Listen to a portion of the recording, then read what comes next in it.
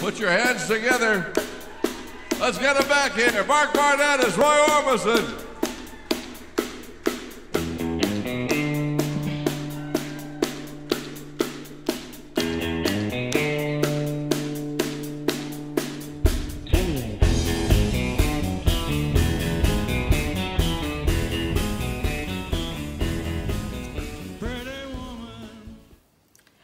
Welcome to our YouTube channel titled Vinyl City Broadcasting, your transit express to rock and roll trivia.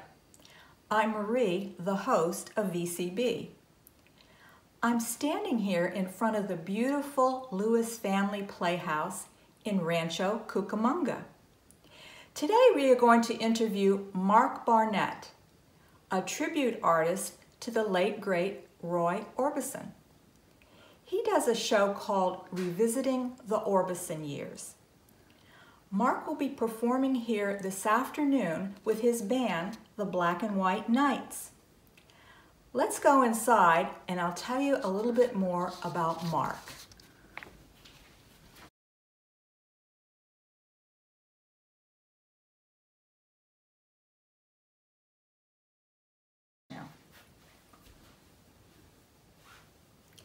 It's a beautiful theater, isn't it? Before we start the interview, we're going to play a promo of the group performing some of Roy Orbison's classics.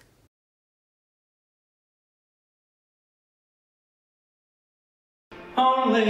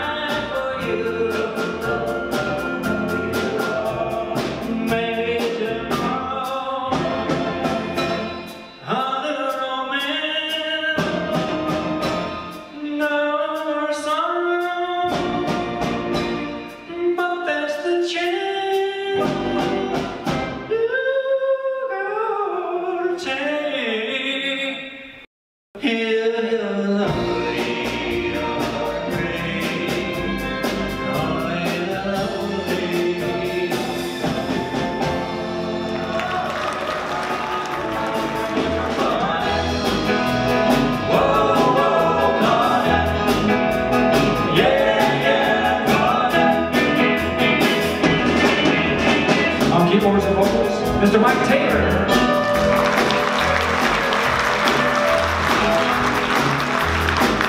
Back there on the drums, we call him the animal, Mr. Dana Haas. And our married couple, the Zieglers, are here, starting with the better half on bass guitar and vocals. This is Peggy Ziegler.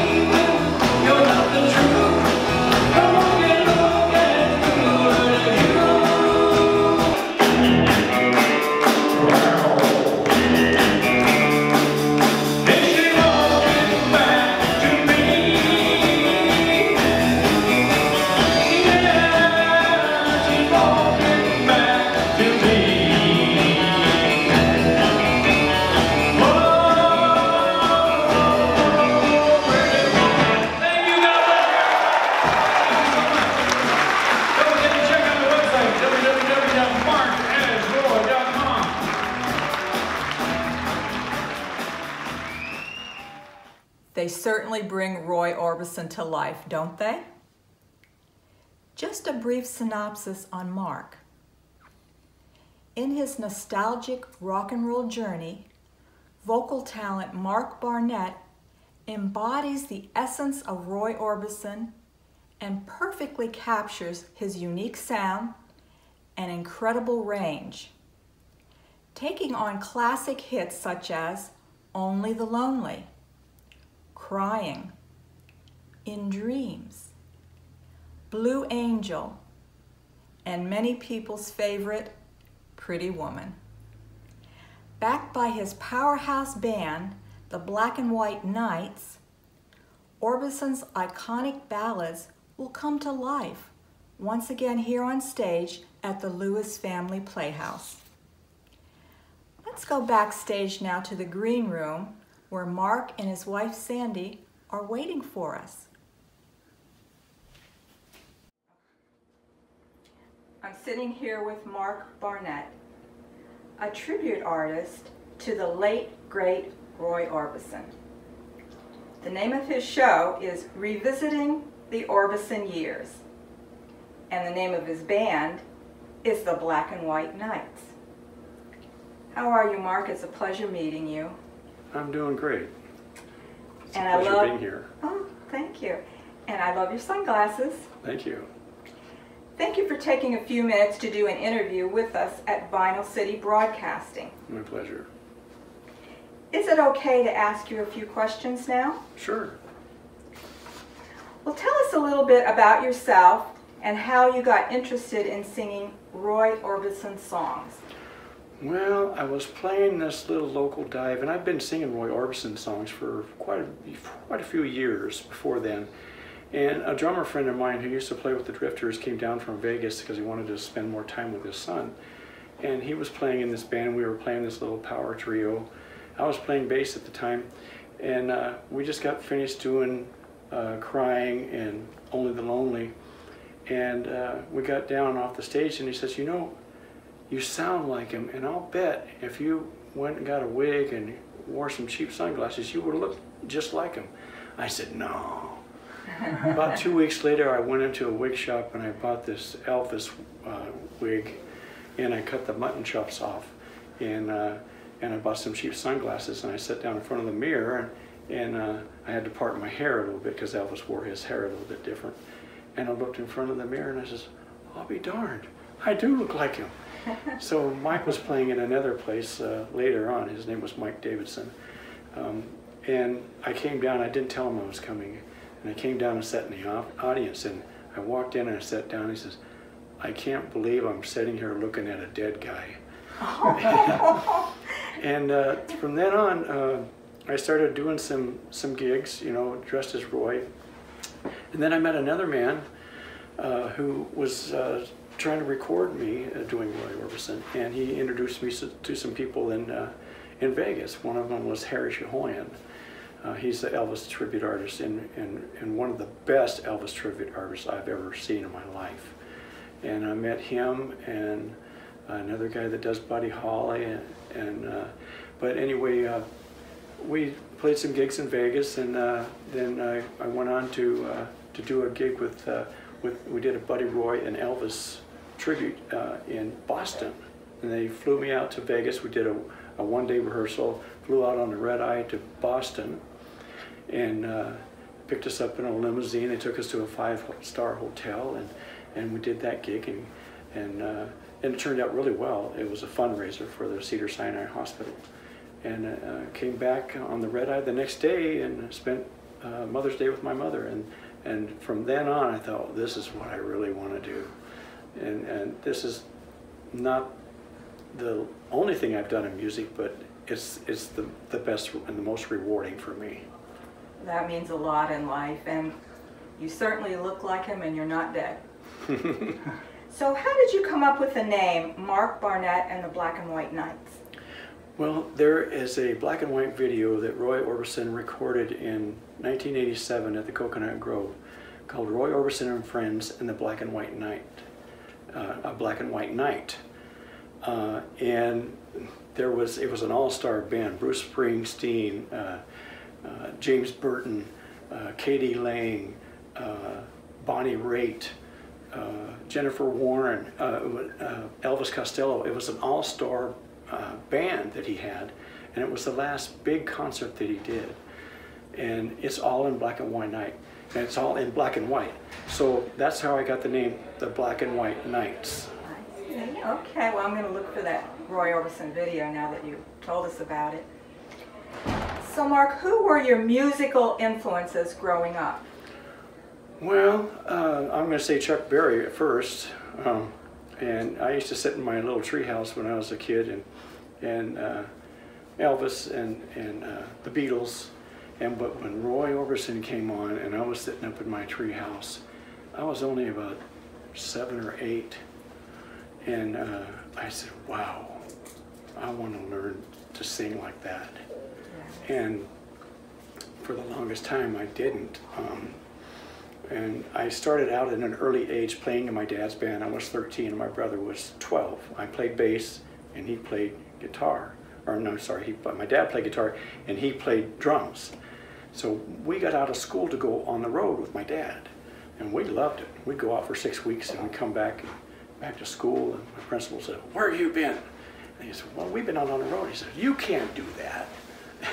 I, I gave him my dad's phone number and he says, you, you uh, tell my dad that. And my dad was the kind of person that you did not wake him up before noon. he was a musician, so yeah. don't wake him up before noon. So I've been doing this for a long time, but not doing the Roy thing, but playing music for a long time. Well, keep it going. now, what song do audiences especially want you to sing?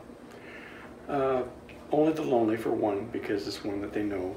And the most known one is Pretty Woman. Yes. And then Crying and Running Scared. And, and those are some of the top 10 that, uh, that Roy Orbison did.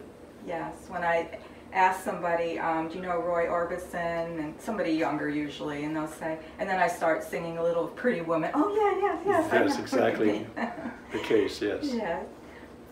Um, we'd like to know a story about yourself that is either funny or serious, that's not on your website or any other publication, and you always wanted to share it.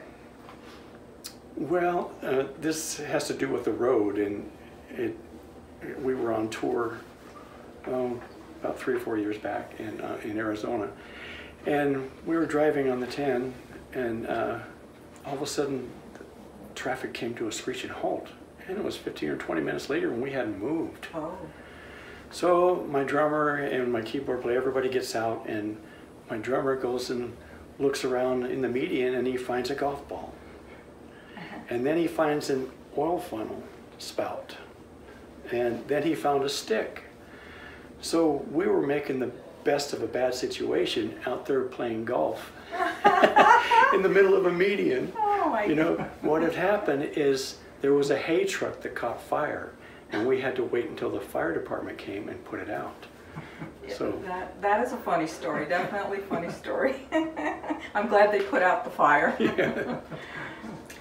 Um, what new and exciting projects are you involved with now or coming up in the near future? Um, well, I, I have uh, the Candlelight coming up next year on June 10th, and uh, I'll be doing another tour in Arizona, um, a couple tours in Arizona uh, coming up next year. Well, excellent. Um, you're doing a wonderful thing, uh, teaching and, and showing people what wonderful Roy Orbison music is out there, and it's, it's great to listen to. And that brings to light, you said uh, something about teaching. Uh, a lot of people don't know the history of Roy. And that's why we do this, because we not, I not only sing the Roy Orbison songs, Yes. but we tell the story of Roy's early Sun years all the way to his death in two 45 to 50 minute sets. And they know a lot about the Beatles, they know a lot about uh, uh, Right. Elvis, uh, but they don't know a lot of Roy's history, and he had a lot of tragedy in his life. Yes, he did. And instead of, you know, taking to the bottle or, or drugs, he buried himself into his music. Yes, And uh, I have to commend him for that. we do too, definitely. Mark, how would you like to close out the interview with VCB today? Well, my wife and I uh, re- rewrote one of Roy Orbison's songs. Okay. Okay, and we sent it to them. We didn't think that they were going to like it. Mm-hmm. And instead of only the lonely, it's only baloney. okay. And the reason why I, I wrote this song is because when I was a kid, there was 11 kids in our family, and there wasn't always a lot to eat. So, uh, if you wouldn't mind, I'd like to sing it like a cappella. Sure. It's just a little bit of it. We love acapella. We sent it to Roy Orbison, and they gave us permission to record it because they loved it too. Okay. So it starts out like B O L O G N A and a little mayonnaise. B O L O G N A only baloney, only baloney, only baloney is all I have for lunch today. Only baloney. Same thing I had yesterday. If I had pastrami, chop, chop, chop, chop. Or maybe roast beef, chop, chop, chop, chop. Lettuce and tomato, chop, chop, chop, chop. And a big slice of cheese, chop, chop, chop, chop. But only bologna is all I have to eat. Only bologna, B-O-L-O-G-N-A. That's just a little bit of it. you get the drift. We liked it. That was. Yeah, Well, thank you once again um, for giving us this interview. It was a pleasure, and we're looking forward to the show tonight with you and your band. All right. Okay. Thank you for having me. Sure. Thank you, Mark. Appreciate that. Very cute song. You had us smiling and laughing. Thank you, sir.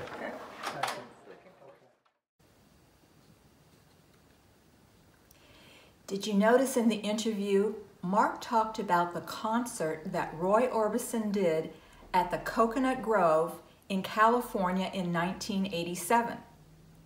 It was called Roy Orbison and the Black and White Night.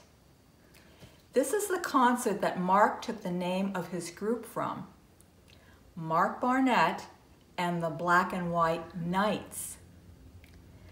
The entire show was fabulous, filmed in black and white. What a nice touch. You can bring it up on YouTube if you'd like. His funny story about being delayed alongside the highway on his way to a concert because a truck full of hay caught fire that held up traffic for about 30 minutes. The drummer and the keyboard player deciding to kill a little time and play some golf alongside the medium of the highway with a golf ball, an oil funnel, and a stick they found in the gutter. You know, Mark, they have establishments today called golf courses around the country that you can play golf with real golf clubs that you can rent or purchase in a clubhouse. Just kidding. Ending the show with only baloney was a real treat. You know, we couldn't stop laughing. So clever. After the interview, we stayed out front in the auditorium lobby until the show began. After the show, we went back out into the lobby and watched people leaving. No one was crying because, of course, they had just heard the stellar performance from Mark Barnett and the Black and White Knights. Mark, you're such a talented man, and your voice is so similar to Roy Orbison's. You really do him justice by carrying on his legacy. And to boot, you even look like him. You've got it all. It was a joy to interview you and spend a little quality time with you and your lovely wife Sandy after the interview. We took some pictures of Roy, Rico, and myself in the green room and we posted them on our Facebook page. As you will see, Mark and I have on similar shades. He's just a lot taller than I am. Please check out Mark's website by going to www.markasroy.com. If you haven't heard this group of talented artists perform, check out their touring schedule on their calendar page and buy tickets today if they'll be performing in a city near you. You won't be disappointed. Any of you, including promoters, who would like to hire Mark and the Black and White Knights for your next show or event, their contact information will be posted on our last slide. Click on Contact Us button on their homepage to send them an email. We also want to remind everyone to subscribe to our channel, Vinyl City Broadcasting, so you don't miss any of our shows and tell your friends about us.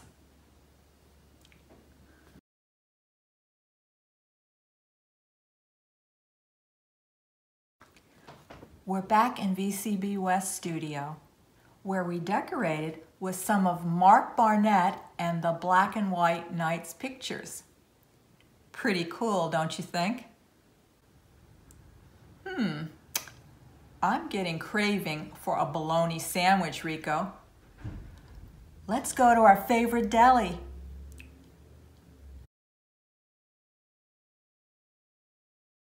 B-O-L